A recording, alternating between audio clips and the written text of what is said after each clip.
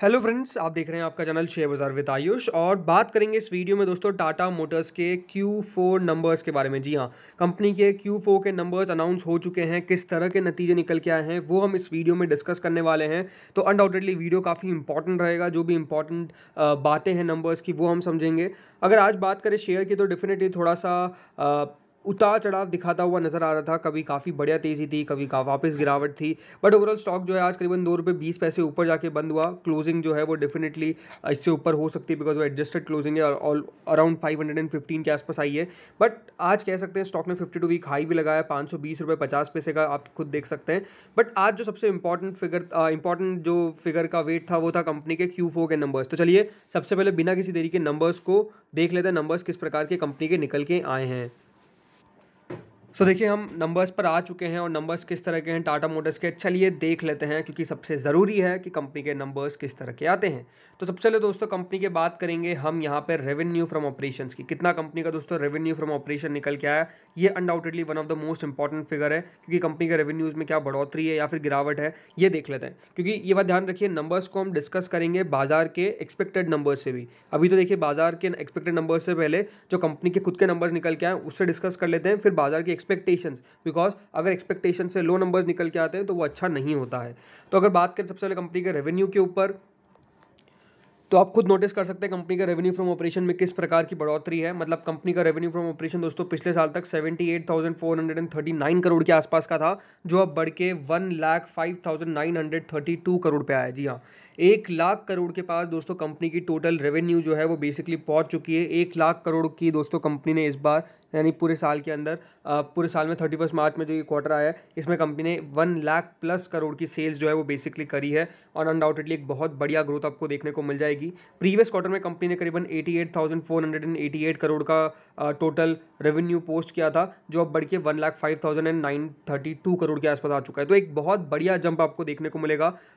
ये अगर मैं बात करता हूँ टोटल कंपनी की सेल्स की तो टोटल इनकम जो कंपनी की निकल के आई है वो दोस्तों seventy nine thousand three hundred and forty one crore थी पिछले साल तक, जो अब बढ़ के one lakh seven thousand five hundred and nine crore पे आया है। तो सेवन एटी थाउज़ेंड करोड़ के आसपास से बढ़ के एक लाख सात हज़ार करोड़ तक पहुँचना, ये अपने आप में काफ़ी ज़्यादा मैसिव दिखता है, काफ़ी ज़्यादा औसम दिखता है। तो नंबर्स काफ़ी बढ़िया दिख रहे हैं। ये अगर क्वार्टर ऑन क्वार्टर देखते हैं तो eighty nine thousand six hundred and eighteen crore का था, जो बढ़ के one lakh seven thousand five hundred and nine crore पे पहुँच चुका है। तो ओवरऑल ग्रोथ आपको साफ़ साफ़ देखने को मिल जाएगी क्यू ऑन क्यू बेसिस पे भी। और वाई वाई बेसिस पे भी। तो ये नंबर्स तो शुरुआती तौर पर काफ़ी बढ़िया दिखते हैं। लेकिन सबसे इंपॉर्टेंट यही है कि कंपनी के प्रॉफिटेबिलिटी में क्या कुछ चेंज आया है।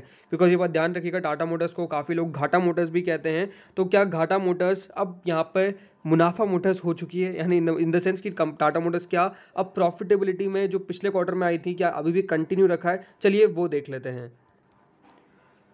तो क्या है देखिए प्रॉफिट और लॉस फॉर द पीरियड चलिए अब बहुत इंपॉर्टेंट आंकड़ा है जिसके बारे में हम बात करने वाले हैं। तो चलिए देख लेते हैं नंबर्स किस तरह के निकल के आए हैं। सो so, कंपनी ने दोस्तों पिछले साल तक कितना घाटा किया था? 992 करोड़ का।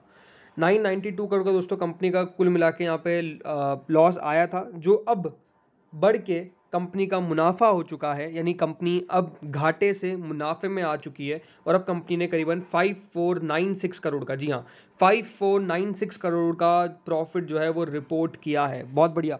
5500 करोड़ हम कह सकते हैं अप्रॉक्स जो कंपनी ने इस बार मुनाफा दर्ज किया है और कंपनी लॉस टू प्रॉफिट हो चुकी है। एक कंपनी जो घाटे में थी, अब बिल्कुल मुनाफे में आ चुकी है तो लोग अब घाटा मोटर्स तो बिल्कुल नहीं बुलाएँगे।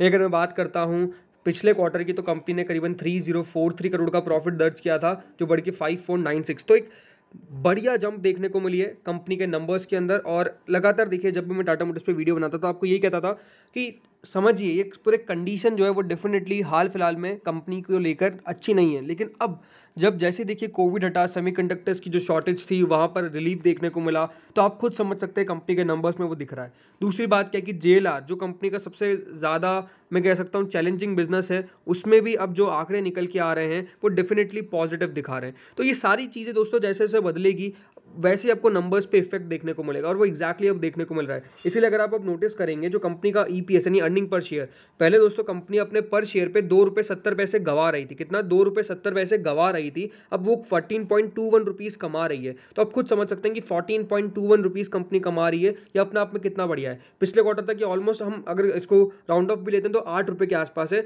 लेकिन अब fourteen point two zero fourteen point two one यानी ऑलमोस्ट छः रुपये से ज़्यादा दोस्तों जो ई है कंपनी का एक क्वार्टर के अंदर इंक्रीज हुआ है। तो आई थिंक एक बहुत ही एक्सीलेंट नंबर्स हम कह सकते हैं ग्रोथ ओरिएंटेड नंबर्स हम कह सकते हैं, जो हर पैमाने पर काफ़ी बढ़िया दिखते हैं राइट अब अगर मैं बात करता हूँ दोस्तों सेगमेंट वाइज रेवेन्यू बिकॉज़ मुझे समझना है और आपको भी समझाना है कि कंपनी का सेगमेंट वाइज रेवेन्यू में जो कंपनी का सबसे चैलेंजिंग बिज़नेस है जेएलआर का, वो किस तरह का कर रहा है? बिकॉज़ ये आपको समझना पड़ेगा कि जैगवा लैंड रोवर अगर बढ़िया करेगा तो बहुत बढ़िया है। लेकिन अगर नहीं करेगा तो चीज़ें दिक्कत में आ जाती है।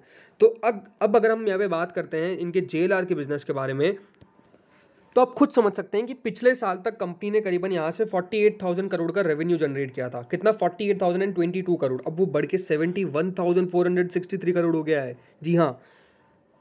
अड़तालीस हज़ार करोड़ से बढ़ के seventy one thousand four hundred and sixty three crore के आसपास का कंपनी का रेवेन्यू अगर वहाँ से जनरेट हो रहा है तो आप खुद कह सकते हैं कि जेएलआर के बिज़नेस ने भी स्पीड पकड़ी है। यही पिछले क्वार्टर तक कितना था? Fifty eight thousand eight hundred sixty two crore.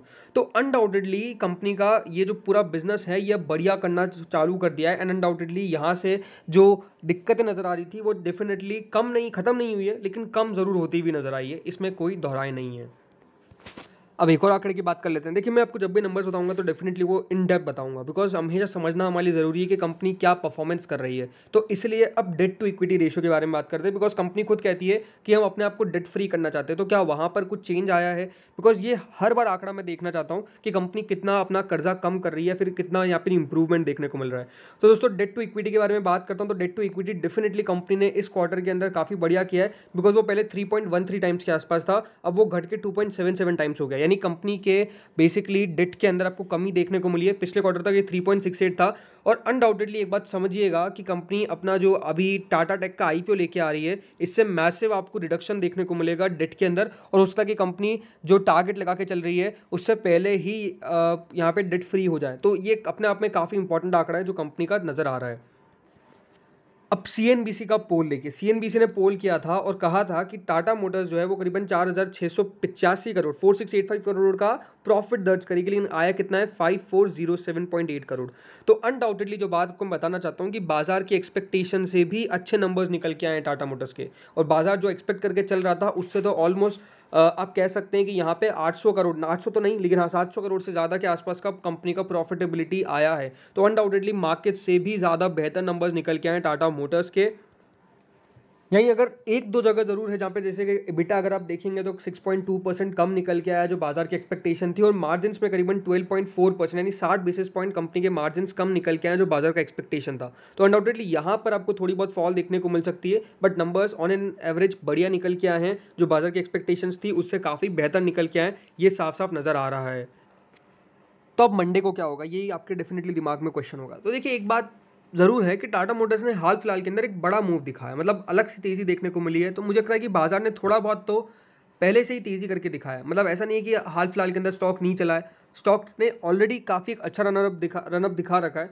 तो मुझे ये देखना है कि यहाँ से कितना ऊपर जा पाता है। बिकॉज़ यहाँ पर थोड़ी बहुत प्रॉफिट बुकिंग कभी ना कभी तो आएगी आएगी। तो अनडाउटेडली क्या इन लेवल सर आती है? क्योंकि ये बात ध्यान रखिएगा, जैसे मैंने कहा मार्जिन पे एक डेफिनेटली प्रेशर देखने को मिला है। प्रेशर इन द सेंस यही कि बाज़ार का जो अनुमान था, उससे कम निकल गया। अदरवाइज़ मार्जिन तो सुधरे, इसमें कोई डाउट नहीं है। लेकिन जो बाज़ार मान के चल रहा था, उससे थोड़े बहुत नीचे मार्जिन निकल के आए। तो ये एक पॉइंट हो सकता है कि जिससे स्टॉक में थोड़ी बहुत प्रॉफिट टेकिंग आ जाए, क्योंकि एक अच्छी अच्छा मूव दिखाया टाटा मोटर्स ने हाल फ़िलहाल के अंदर। एक महीने में दस परसेंट अगर स्टॉक इंक्रीज हुआ है। बट ओवरऑल मुझे लगता है कि टाटा मोटर्स के अंदर अब बने रहना चाहिए, जो भी इन्वेस्टर्स हैं। नंबर्स अच्छे निकल के आ रहे होपफुली कंपनी परफॉर्मेंस आने वाले क्वार्टर्स में भी इसी प्रकार से रखेगी। एंड अनडाउटेडली जो कंपनी लगातार सेल्स कर रही है, वो भी अपने आप में काफ़ी ज़्यादा इनक्रेडिबल है। तो आई थिंक टाटा मोटर्स के अंदर मेरा मानना तो यही है कि एक अच्छा कंटेंडर है, जिसको आप अपने पोर्टफोलियो के अंदर रखिए और लॉन्ग टर्म के लिए रखिए। मतलब मुझे लगता है कि आई थिंक जो ई e है, वो डेफिनेटली टाटा मोटर्स के लिए बेहतर प्ले करेगी और इसीलिए बेहतर ये करेगा। इस वीडियो में इतना ही था। Thank you friends watching this video आप भी अपना व्यू मुझे बताइएगा टाटा मोटर्स के नंबर्स को लेकर।